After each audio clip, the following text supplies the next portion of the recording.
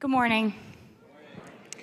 Uh, my name is Sarah Sigmund, and I wanted to introduce myself to you because I don't work here, so you might not know me. Um, I put a, I, I have a slide with a picture of my family. Um, my husband does work here. His name is Jonathan Sigmund. He's the executive pastor, and these are our kids. They are in kindergarten and second grade. I'm a public school teacher. I've been teaching for 14 years, and I've gone to church here for 16 years. I have a couple hobbies, like most people. I like cooking, I like reading, and I like decorating. And um, part of knowing me is receiving unsolicited book recommendations. So here are some. This is my favorite cookbook from this year that I used quite a bit. It's called Super Simple by Half Baked Harvest. And then my favorite decorating book is called Cozy Minimalist by an author named Myquillyn Smith, who I really like. So there you go. You can add it to your Amazon cart if you have any last minute shopping to do. For anyone else who also likes cooking and decorating. So, um, the fact that I like decorating and rearranging and redecorating will occasionally lead me to stores um, you've probably seen, such as At Home or Hobby Lobby or My Promised Land is Marshall's. And I can wander the aisles, and they have sections of the store that are like wall art you know, your decorations that get hung like art. But there's been a trend in the last 10 years where some of the wall art is trying to give me advice. And it will say things like, be awesome today, or live more, worry less, choose adventure. Here's one positive thinking equals positive outcome. Listen, I know what you're trying to say, but the math on that does not always check out. So we have none of these at our house because I do not like being bossed around by my wall art. Wall art, you do not know my day. But I get it, and I know why that stuff is selling. And it's not just that it's cute. It's the idea that we do feel the need for some kind of inspiration and some kind of encouragement because things are sometimes really tragic and really exhausting and really discouraging. Merry Christmas. But the Bible offers a very different gift than a $8.99 wall canvas that's meant to lift you back up. When you're discouraged and you're struggling, the Bible is offering you the gift of the kind of endurance that comes from Jesus, and that's what we're going to talk about today. So, we're going to start by looking at the text. We're going to be in Hebrews chapter 12, verses 1 through 3. It'll be on the screen. You can also look it up on um, your phone or if you brought your Bible. It says, Therefore, since we are surrounded by so great a cloud of witnesses, let us also lay aside every weight and sin which clings so closely, and let us run with endurance the race that is set before us, looking to Jesus, the founder and perfecter of our faith, who for the joy that was set before him endured the cross, despising the shame, and is seated at the right hand of God. Consider him who endured from sinners such hostility against himself, so that you may not grow weary or faint hearted. So, Hebrews is my favorite book of the Bible. I actually just finished a fall Bible study on it, which means that some of the girls sitting in this room listened to me teach on the book of Hebrews for seven weeks in a row, and they are therefore dismissed for coffee now if they would like some. But the placement of um, that section I just read you is the beginning of chapter 12, but it's actually a conclusion of chapter 11. Chapter 11 in the book of Hebrews is a short essay about a group of people who lived their lives with significant faith in God and what God did through their lives. And it spans all the way back to the days of Adam and Noah. And the last people that are mentioned at the end of Hebrews 11 would be contemporaries of this author of the book of Hebrews. And they were people who were really suffering, people who it says they were being murdered, they were being imprisoned, they were living in poverty, they were being mocked. But God was still working in their lives through their faith. And that leads up to what we just read. That's why it starts with a therefore. It comes from that place of God's involvement through people's faith in the midst of suffering, or what I affectionately call the real world, where we know that you can't expect a happy ending all the time, even if you do believe in God. And so, therefore, what am I supposed to do with that? So he says, Therefore, since we are surrounded by so great a cloud of witnesses, let us also lay aside every weight and sin which clings so closely, and let us run with endurance the race that is set before us. So that sentence, which has like 19 commas, also has two um, verbs, two action phrases. So you can take a third grade teacher out of a classroom, but she's still going to talk about parts of speech. So there's two verbs in there, and the first one talks about laying aside, um, laying aside your sin, the weight that clings to you so closely. So when I was younger, I played a computer game called um, Oregon Trail. Does anybody remember that? I thought it was a video game. I had a lot of friends. And um, Oregon Trail was a, a, game designed to give you information and experiences that mimicked the pioneers who were leaving their homes in the East and moving out west in the 1800s. This is like Go West Young Man, Manifest Destiny, all of that stuff if you're familiar with it. So these individuals had this dream that they were going to move out to where there would be more freedom, more opportunity, more land. They packed up their wagons, that was how they got there, with their most precious and necessary things from their lives back east. If you were playing the computer game, we could buy like barrels of flour, uh, food for your oxen. You could get medicine. It didn't matter. You were going to get dysentery. But for the real people who actually, you know, were, were actually moving in the 1800s, they set out with their most precious and necessary items on what they called wagon trains, which were caravans, and headed for their new life. But historians tell us that along the path, along the trails that they followed, they found all of these heavy abandoned treasures, like pianos, furniture, heavy wood chests, books. And interestingly, they found a lot of bacon, which is apparently very heavy. And that tells you that the Sigmunds wouldn't have gotten very far because I would not have thrown out the books and Jonathan would not have thrown out the bacon and we'd have gone home. but, but these people on their journey, they wanted to get where they were going more than they wanted to hold on to something that just a few days before they had deemed precious and necessary and part of their very identity. But when it came down to choosing, I will carry this or I will get to the place I believe I've been made to go, they laid it down. And the author of Hebrews is saying that it's our sin that's weighing us down. That's the heavy thing. So, sin is a Christian vocabulary word that we use in the Bible to describe my thoughts, my actions, and my motivations that are unhealthy, that are destructive to me and to other people, and that are unlike the holy nature of God. And when we talk about sin and we have conversations about sin, it can feel really heavy. Like the Bible's trying to put something on me, like some really clunky burden that I'm going to have to manage now. But do you see that what the author is saying is actually the complete opposite? It's our sin that's heavy on us. It's our sin that's the burden. The ways that I'm unlike God is what's making it harder for me. Laying aside my sin actually gives me more energy and more strength and ultimately more endurance.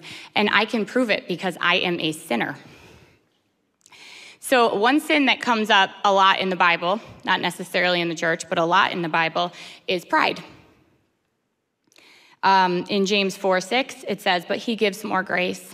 That is why scripture said, God opposed the proud, but shows favor to the humble. Philippians 2 3 says, Do nothing from selfish ambition or conceit, but in humility count others more significant than yourselves. Proverbs 11 2 says, When pride comes, then comes disgrace, but with humility comes wisdom. So, pride is one of the sins that I have faced down over and over. And I can tell you that when I'm losing that, and when there's pride in my heart and in my mind, it weighs me down. It is exhausting to spend my time considering what other people are thinking of me and trying to manage their opinion of me, trying to make them somehow aware of the things I'm doing well and of my strengths, while at the same time keeping them completely ignorant of all the ways I'm dropping the ball and all the things I'm bad at. It's exhausting.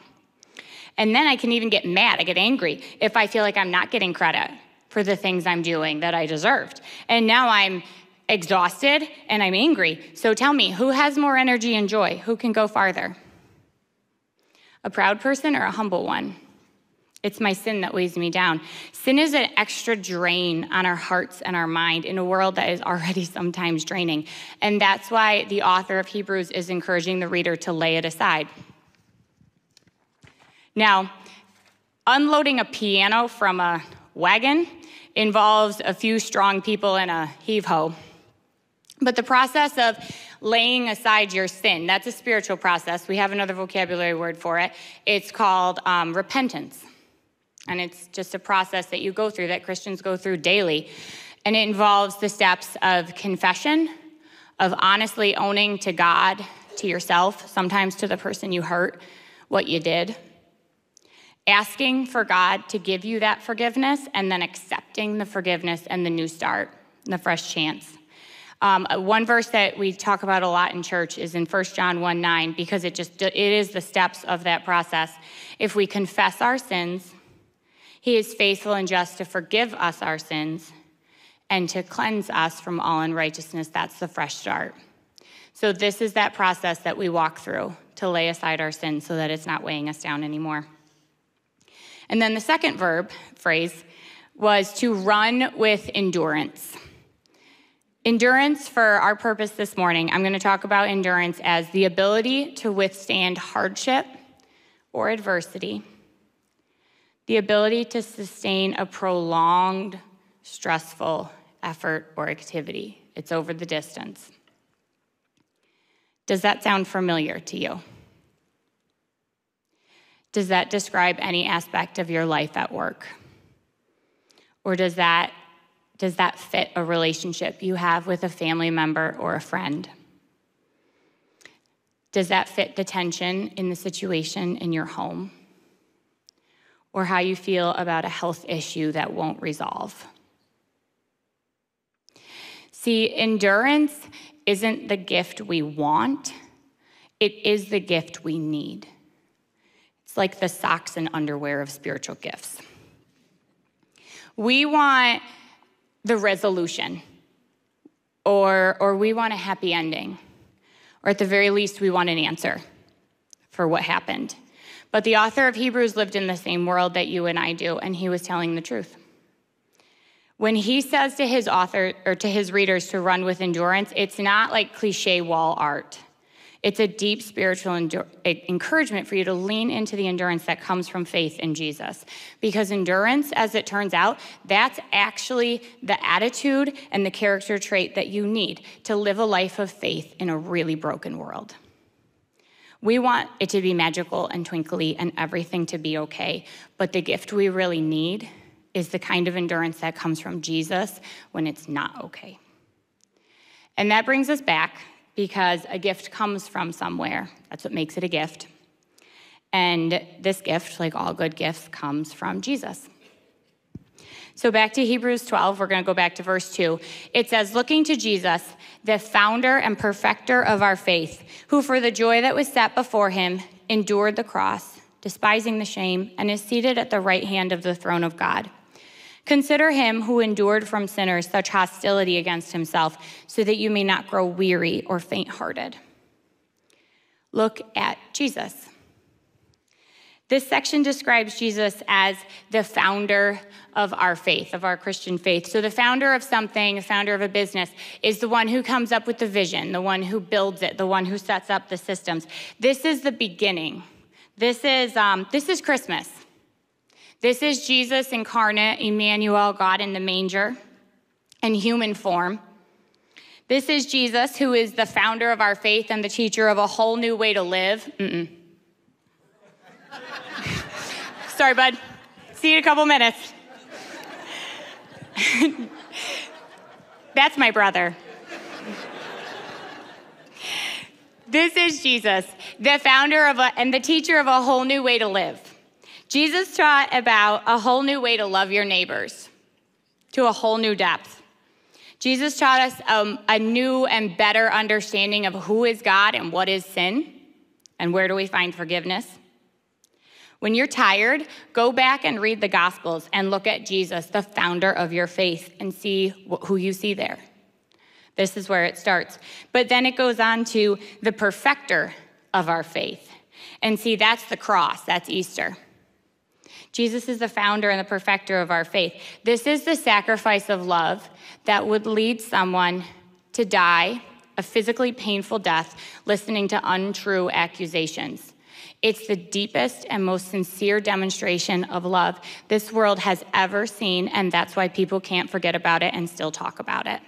And then from there, it becomes the moment that Jesus defeated the deepest en- enemy of humanity, which was death, by his resurrection and the promise of ours.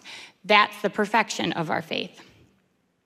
When you are tired, consider the perfect work of Jesus and look at Jesus, the founder and the perfecter of your faith. The author of Hebrews actually does not tell you to look inside yourself to find your strength. Because I, and anyone who's very, very honest, will tell you that there's a horrifying moment where you will go to look inside yourself, and either it will be empty, or even worse, it will be ugly. Looking inside myself is not enough when I'm really, really tired and discouraged. I have to look at Jesus. See, we endured because Jesus endured. What was Jesus looking at? Well, the text says Jesus was looking at heaven, at the reconciliation of God to humanity. He looked at that because he knew what was coming. When I'm tired, I look at Jesus. So I'm going to bring you back to the whole text so you can hear it together. Therefore, since we are surrounded by so great a cloud of witnesses, let us also lay aside every weight and sin which clings so closely, and let us run with endurance the race that is set before us, looking to Jesus, the founder and perfecter of our faith, who for the joy that was set before him endured the cross, despising the shame, and is seated at the right hand of the throne of God. Consider him who endured from sinners such hostility, so that you may not grow faint, grow weary or faint-hearted. So when we talked about this text in our Bible study, we talked about the um, Olympics. So we love the Olympics. Like our family has this massive spurt of patriotism every like 18 to 32 months or however often it comes up, and we will watch anything. We throw out all our screen time rules and we have the coverage on all day, and we will watch ping pong and speed walking. That was a little weird. But like most people, we wait for like swimming, track and field, and gymnastics. That's the good stuff. And, and track and field, especially, um, it's just so fun to watch. But that this section reminded me of the Olympics. This one less so because the stands were empty but of the track and field events at the Olympics, when it talks about being surrounded, therefore, since we're surrounded by so great a cloud of witnesses, for the experience for the athlete, when they're surrounded by people who are encouraging them and cheering them on in what they're trying to do, that is what your faith community is. You are surrounded by so great a group of people living now, running with you, and the stories that you find in Scripture and throughout Christian history of people who have experienced the goodness of God as they lived by faith, that's meant to be encouraging. And it talks about laying aside every weight and the sin which clings so closely. You know, when those people run, their uh, outfits, the sports people tell me it's called uniforms, their, um, their clothes, there's like not a lot going on there. But it's not meant to show off. I mean, they look good, you do you. But it's not meant to show off. Those things are designed to not weigh them down. Like there's nothing flapping in the wind in those track uniforms because they were designed to help them be effective in their race. They're not carrying anything they don't need to carry, anything that would slow them down.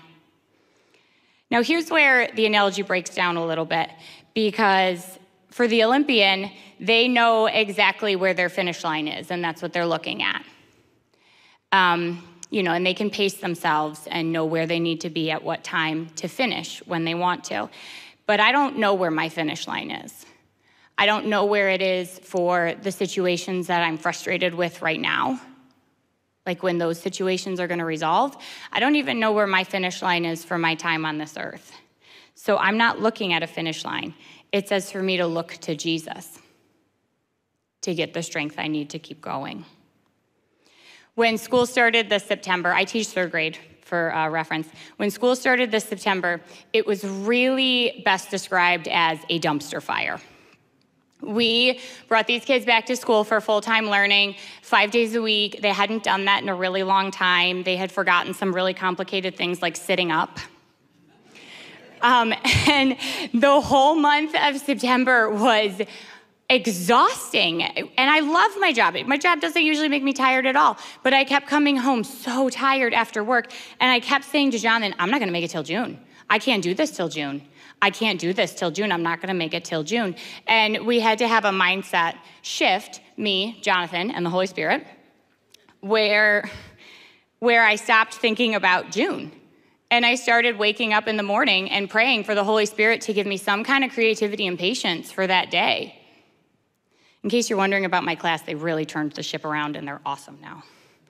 But that was rough.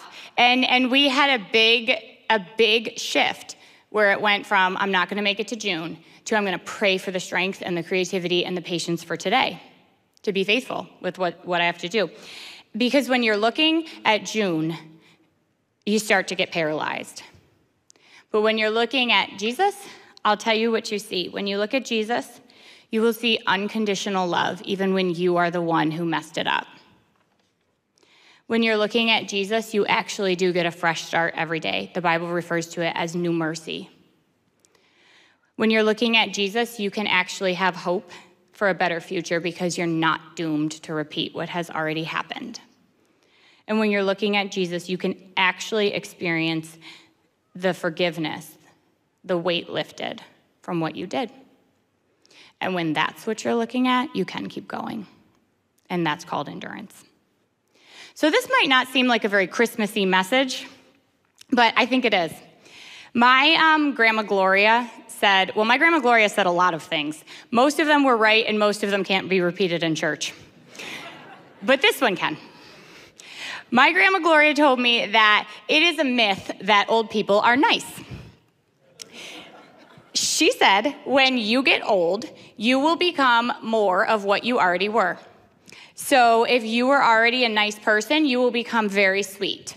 If you were already nasty, you will be extra bitter and mean. She was usually right about things. But you know what? Christmas is the same thing. If you are already full of joy and things are wonderful and happy right now, it is extra sparkly and glittery. But if you were already feeling the strain of a really tough relationship, that's more stressful right now. If you were already missing somebody, it hurts worse this time of year. If you're already discouraged because your body can't keep up with what your mind wants to do, that's even more frustrating now that there's a lot of activities and the days are busy around the holidays. And if you're already feeling that pain that comes from the consequence of bad choices, yours, someone else's, that's extra bitter right now. If your family's struggling with finances and having a hard time making ends meet, Christmas can really add a sense of shame and frustration to that. So, you see what I mean when I say endurance isn't the Christmas gift you want, but it is the one you need. See, we ask for and even accept lesser gifts, things that can't actually give you the kind of endurance and patience and strength that comes from the Holy Spirit. There is no option, no strategy, no change you're gonna make in your life that is gonna come close to comparing to the presence of Jesus in your life. There's nothing and no one that you can trust or lean on that is as strong as Jesus. There's no one who can understand you and encourage you like the one who made you and is walking with you. There's no new hobby you're gonna pick up and no fun night out you're gonna have or no amount of extra sleep that is gonna pour back into your heart every morning the kind of strength and patience that you need to stay in your race. Jesus does that. And that's the gift he's offering to us. So, spiritual knowledge is unique in that it only holds value when it makes the sink from your head down to your heart. So, our Christmas gift to you is that we're gonna have these nice music people play some quiet music so that you can have a couple minutes to pray. And in your heart, look at Jesus. Give Jesus the hard and the heavy and the discouraged thoughts that you have and leave space for Him to give back to you the kind of patience and energy that you need. Give to Jesus where you feel weary and faint hearted and discouraged, and let Him give back to you what He already knows you need.